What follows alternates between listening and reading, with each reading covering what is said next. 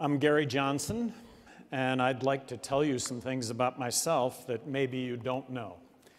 Uh, I am the former two term governor of New Mexico. I got elected governor in a state that's two to one Democrat, promising to bring a common sense business approach to state government. I've never raised taxes, not one penny. As governor, I was labeled the most dangerous politician in America. I was more outspoken regarding school choice than any governor in the country when I served. Bring competition to public education.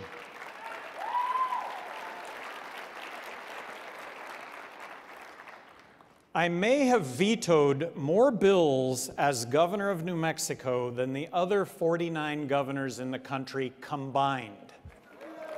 I vetoed 750 bills as governor of New Mexico. I took line item vetoes, thousands of them, to a new art form. In a state that's two to one Democrat, me being a fiscal hawk, People in New Mexico today wave at me with all five fingers, not just one.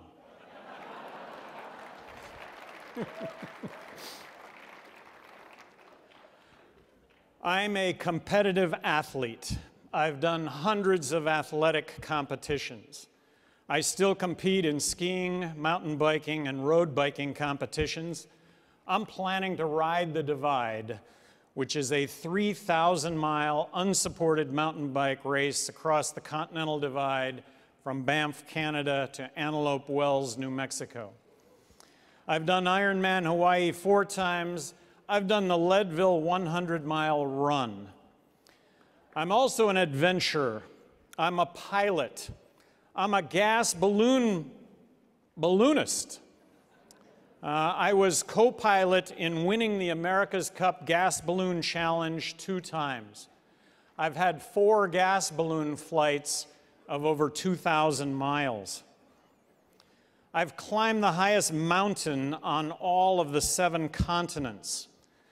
I summited Mount Everest on a recently broken leg. I am a fierce competitor. I'm a fierce defender of civil liberties. I think that people need to be able to make their own choices in their own lives as long as those decisions don't adversely affect others.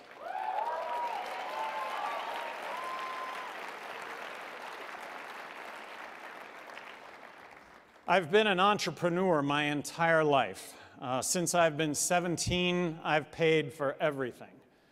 I started a one man handyman business in Albuquerque in 1974, and in 1994 actually grew my business to employ over 1,000 people in New Mexico. I learned a couple of things. I learned a lot of things when it came to business. Was one, one of them was the magic of sharing in the profits. It's just amazing when you share in the profits how the pie gets so much bigger. And I learned about hiring and firing, how it's easy to hire and how it's so difficult to fire. But if you can't fire people, you find yourself in a situation where you end up going bankrupt. And that's really the disconnect in the public sector, in the public sector is you have a president right now who's never hired and fired, so he finds it really easy to hire. And I don't mean to just pick on President Obama, it's the public sector. You find people who have never hired that find it so easy to hire, and because it's so difficult to fire, they never fire. And what you end up with is really dysfunctional government because of that. I sold my business in 1999. Nobody lost their job, and it gave me my financial freedom.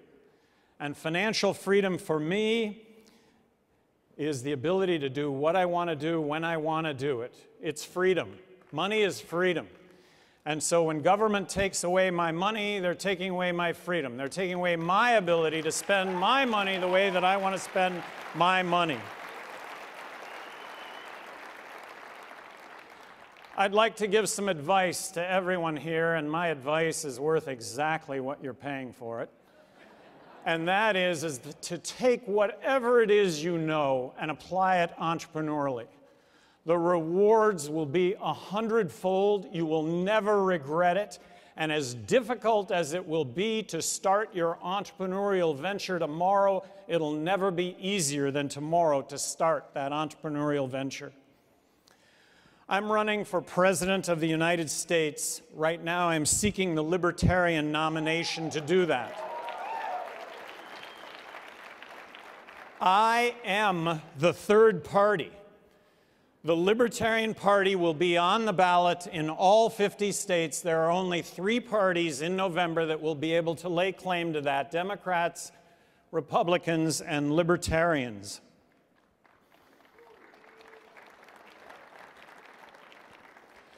I believe the biggest issue facing this country right now is that government is too big, it tries to do too much, and it spends too much. $20 trillion in debt and rising is unsustainable.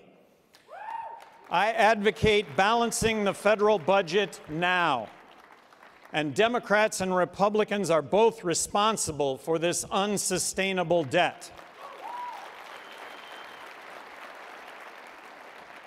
Balancing the federal budget means reforming Medicaid, Medicare, Social Security, which I think will actually be kind of easy. I advocate eliminating income tax, eliminating corporate tax, abolishing the IRS and replacing it with a federal consumption tax. I say let's use the fair tax as a template for how we dot the I's and cross the T's to, in fact, implement a national consumption tax.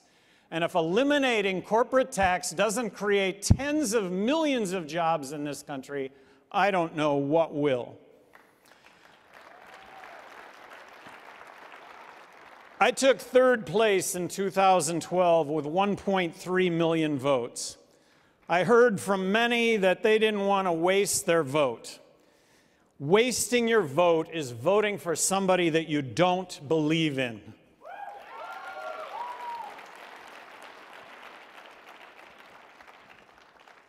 By the way, eliminating corporate tax and eliminating the IRS will send pink slips to 80% of Washington lobbyists because that's why they're there, to garner special favor.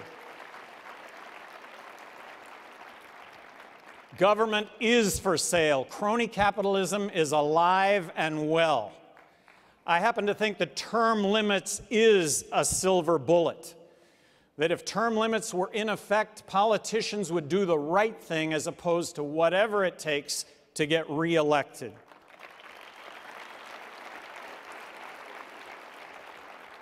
I believe in free markets when it, came to, when it comes to health care, I reject the insurance model. If we had a free market model for health insurance, we would have insurance to cover ourselves for catastrophic injury and illness, and we would pay as you go in a system that was very, very affordable. Stitches are us. Gallbladders are us at thousands of dollars as opposed to tens of thousands of dollars. Google me, Gary Johnson. If you're serious about reducing the size and scope of government, I'm your guy. My favorite veto as governor of New Mexico was a Republican bill that was going to require pet stores to exercise their dogs and cats two hours a day, three times a week. I gotta tell you, that's where I want to buy my dogs and cats. But in my veto message, I said, this is where I want to buy my dogs and cats. But if I sign this bill, the next thing I'm going to have to do is fund the dog and cat exercise police. Back to some more advice, worth exactly what you're paying for it. Tell the truth. Keep your word. Be on time. It shows respect. Don't say one thing and do another. That's hypocrisy and that's unforgivable. Get a job that you love. If you don't have a job that you love, quit and get something that tomorrow you'll enjoy getting up and spending your time doing. And lastly, a request to all of you you have the ability to do this. Get me in the presidential debates. Get the Libertarian nominee for president in the presidential debates.